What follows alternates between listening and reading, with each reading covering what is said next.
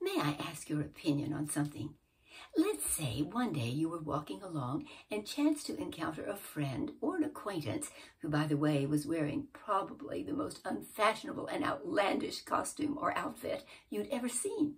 Well, as you were talking along, suddenly she says, How do you like my dress? What do you say? How do you respond? You want to be truthful, but on the other hand, you don't want to provoke anger or engender hard feelings.